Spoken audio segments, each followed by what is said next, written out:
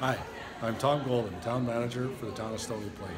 We just recently had a session with Zaheen Nanji for about 130 employees for the town, a municipal organization, and we really enjoyed it. We really got a lot out of it.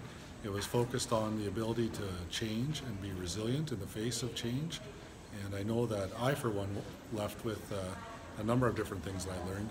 I do enjoy the opportunity to reflect on what's needed to to get through change, to operate in a changing environment. And uh, I certainly achieved that today through the session we just had.